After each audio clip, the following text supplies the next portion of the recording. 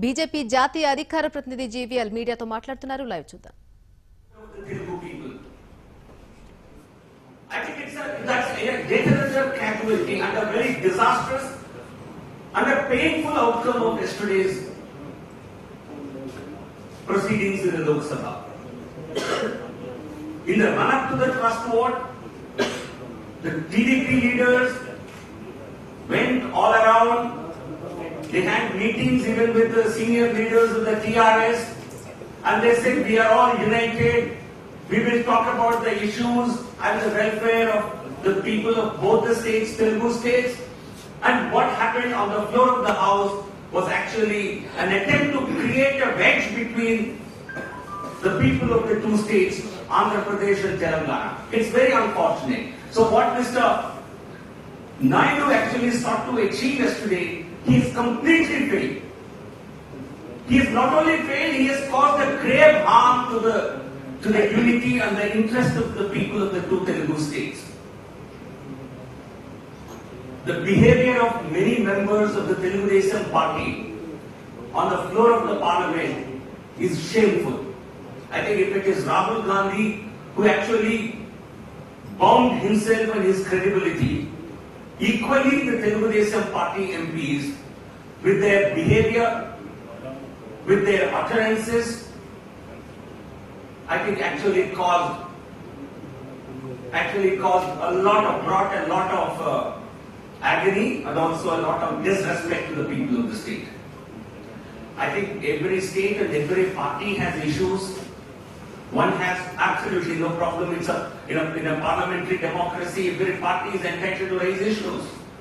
But the manner some of their MPs were actually objecting to the to the speech of the Honorable Prime Minister, this is a repeat of what they have done in the past House. They have brought the, the stature of the members of parliament. I have no hesitation in saying these members of parliament from the TDP have behaved in a very shameful, disrespectful, and an uncouth manner.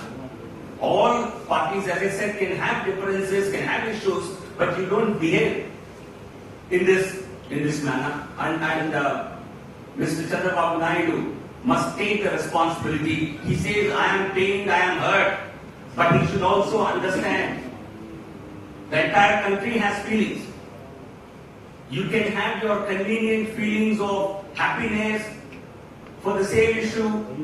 On the same issue, you can have agony. You can change your position as per your convenience.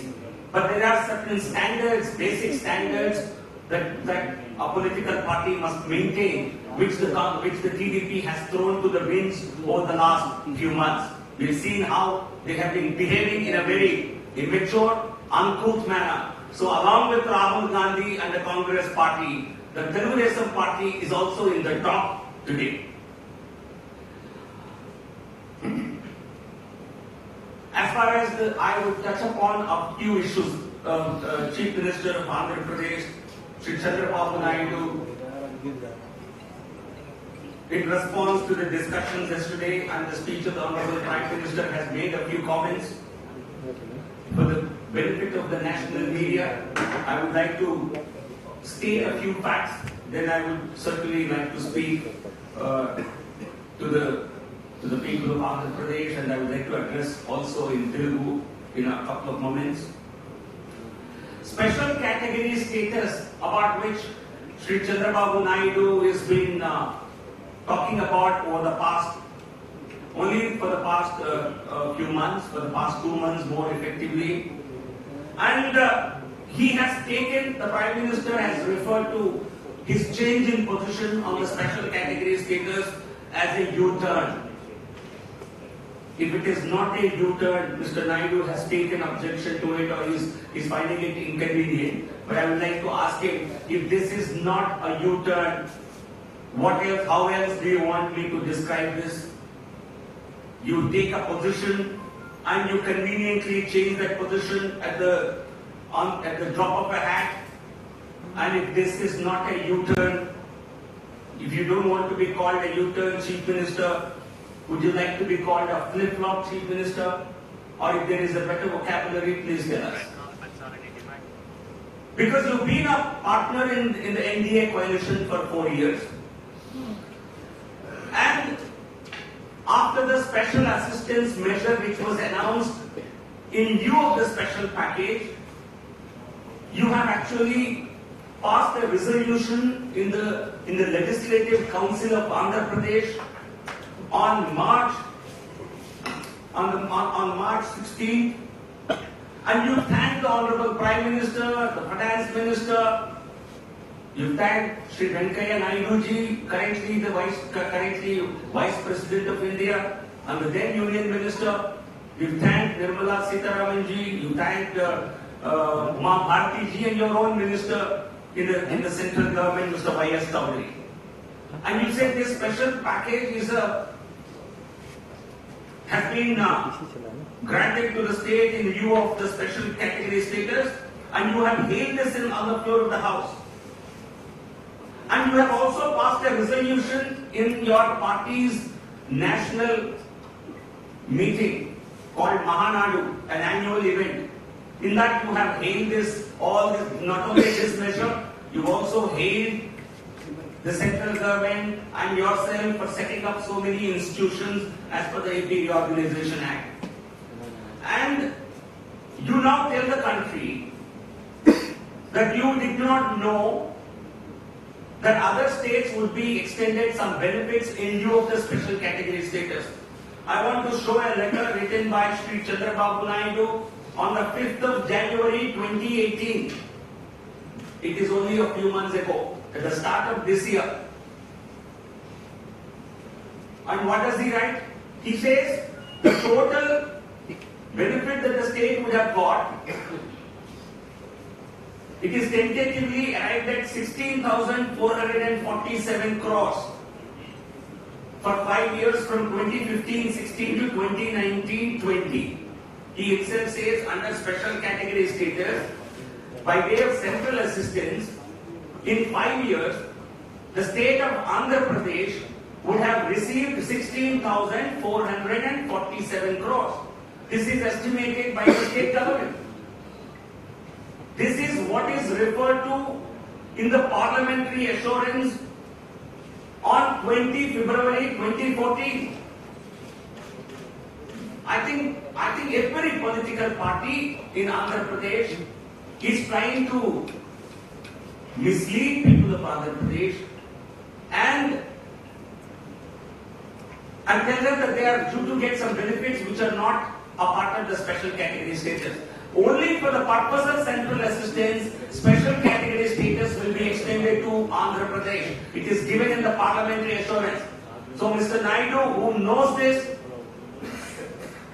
who has hailed this package as a, as a worthy replacement for the special category status, is today changing his position on this. And even in, on, on 5th January 2018, he has stated what exactly was stated in the parliamentary assurance. He said if this excise duty or GST exemption is not available to Himachal Pradesh, is not available to Uttarakhand, so what is not available to Jammu Kashmir, Uttarakhand, Himachal Pradesh, which were special category states until 2015, how can this be given to any other state? These benefits were not available even in 2014 when the then Prime Minister made this assurance on the floor of the House. So you can imagine whatever you like. You build castles in your in eye, in, in air, and you mislead people, you want to deceive them, and on the basis of it, you want to you want to gain political support. One party was already doing this. Mr. Chandrababu Naidu, who knew exactly what I am saying now, had joined the same bandwagon. So I, I accuse Mr. Chandrababu Naidu of this political opportunism, of deliberate concoction, and deliberate deception, despite knowing the full facts. I think there is, I think today even in the in the press conference he was saying, I'm the senior most leader. He's certainly uh, on matters of finance and revenue matters. I know he knows better than his own finance minister. He knows better than all the officers in his own government. He understands everything. So he is, what he is doing today is deliberate deception.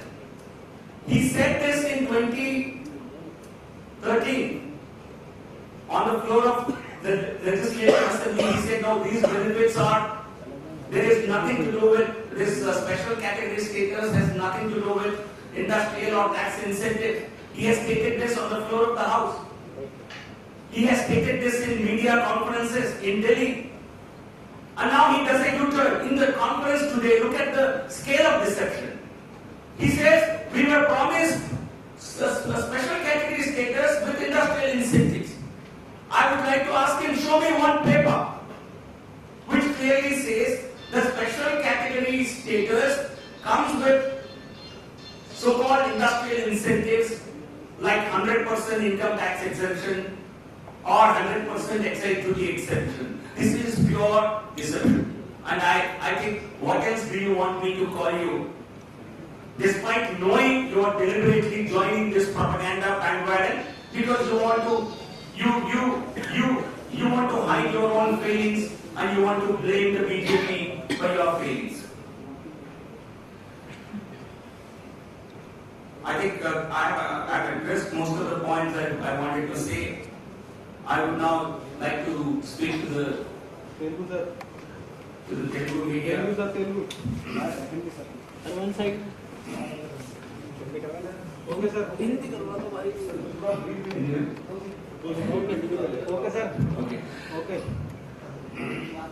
कल जो लोकसभा में अविश्वास प्रस्ताव पर चर्चा हुआ पर voting हुआ, उसका क्या परिणाम आए, ये पूरा देश जानता है। अविश्वास प्रस्ताव जैसा पहले से जैसा सभी जानते थे, वो पूरी तरह गिर गई थी। और हमारा संख्या बल एनडीए का जो संख्या बल था लोकसभा में, उसमें इजाफा हुआ और विपक्षी दलों की संख्या बल में गिरावट आई। जो तथा तथाकथित महागठबंधन की जिसकी कल्पना कर रही थी विपक्षी दल जिसको लेकर बड़े बड़े दावे कर रहे थे, वो सारे के सारे खोखले साबित हुए। उनका गठबंधन, महागठबंधन का जो सपना था, वो पूरी तरह कल वो सपना टुकड़े टुकड़े में टुकड़े टुकड़ा हुआ उसका। देश ने फिर एक बार राहुल गांधी जी की अपरिपक्वता उनकी उनकी गंभीरता, हीनता, उनकी गंभीरहीनता और सतही राहुल की पेश, राहुल के राहुल के जो सतही है देश ने, पूरे देश ने देखा। और केवल राहुल गांधी की विश्वसनीयता नहीं, कल तेलुगुदेशम पार्टी की विश्वसनीयता में भी बहुत बड़ी लगी है। जो पार्टी कल बड़ी बड़ी दावा कर रही थी तीन दिन पहले, उनके साथ मिलकर उनके एक शर्मनाक बात हुई और कल चंद्रबाबू नायडू जी ने और उनके पार्टी के द्वारा जो आरोप लगाए गए केंद्र सरकार के ऊपर वो पूरी तरह निराधार है। चंद्रबाबू नायडू जी पिछले दो साल से एक बात कह रहे थे और अचानक मार्च में उन्होंने यू टर्न लिया। और यू टर्न लेने का कोई राजनीतिक कारण ही साफ़ नज़र आता है। उसमें कोई सरकार का, कोई सरकार का कोई वो नहीं है।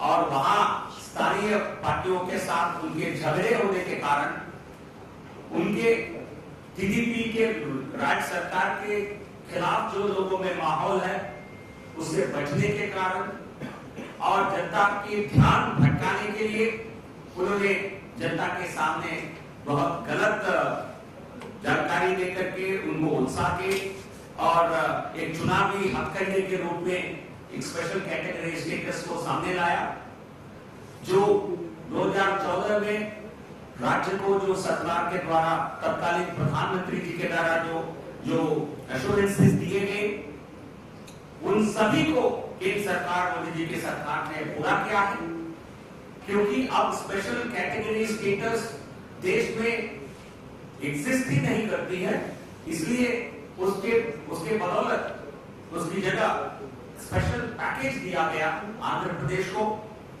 जिसका स्वागत खुद चंद्रबाबू नायडू जी ने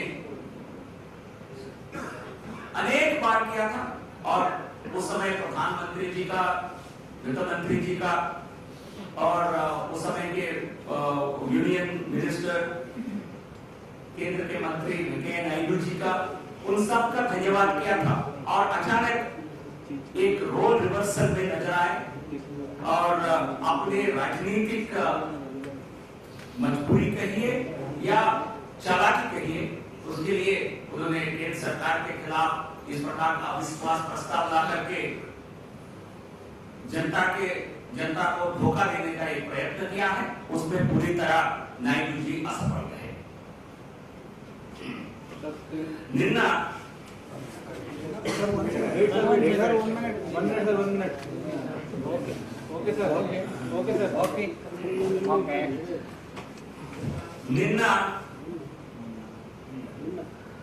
లోక్సభలో అవిశ్వాస ప్రస్తావం అవిశ్వ అవిశ్వాస ఆ, తీర్మానంపై జరిగిన చర్చ ఓటింగ్ ద్వారా సాధించింది ఏమిటి? నేను ముందు నుంచి నేను చెప్తూనే ఉన్నాను. రాజకీయ ఎత్తుబడలు రాజకీయాల్లో పనిచేయవు. రాజకీయాల్లో కావాల్సింది విశ్వసనీయత. అది కొరవైన నాడు ఇది కలిసి రాదు నిన్న టీడీపీ వారు అవిశ్వాస తీర్మానం పెట్టి మేము అన్ని పార్టీలు మా వైపు నించుంటాయని నించున్నాయని వారికి ధన్యవాదాలు చెప్పండి మేము ఢిల్లీ వెళ్తున్నామని. అది ఏం ఆయన అర్థం ఎంత అర్థమైందో మరి మీరే మాట్లాడింది. అక్కడ ఆంధ్రప్రదేశ్ అన్న రెండు మాటలు కూడా నేను వేరే పార్టీ వారి వారి వారి స్పీచెస్ ఎక్కడ వినలేదు. మీ ఎంపీలు అయితే అన్ని రాష్ట్రాలకు వెళ్ళి అందరినీ కలిసి వచ్చామని చెప్పారు. సో నేను కూడా చంద్రబాబు నాయుడు గారు చాలా దేశవ్యాప్తంగా అన్ని పార్టీలతో మంచి పరిచయాలున్న నాయకుడు అని ఆయన చెప్పుకుంటాడు. అది నిజం కూడా. సో దాంతో వారేదో సాధిస్తారనుకున్నాం. కనీసం ఏ పార్టీ కూడా తెలుగుదేశం పార్టీ చేసిన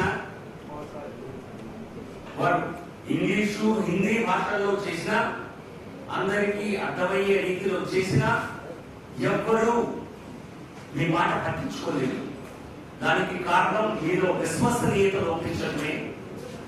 మీరు చేసే మీరు తీసుకునేటువంటి యూటర్న్సే దానికి కారణం. ఆఖరికి రాహుల్ గాంధీ మాట్లాడిన మాటలో కూడా ఎక్కడ ఆంధ్రప్రదేశ్ అన్న మాట వినిపించలేదు. సో ఏ దృక్పథంతో అయితే అవిశ్వాసం తీర్మానాన్ని మీరు అసెంబ్లీ పార్లమెంట్లో తీసుకొచ్చారో అది పూర్తిగా విఫలమైంది.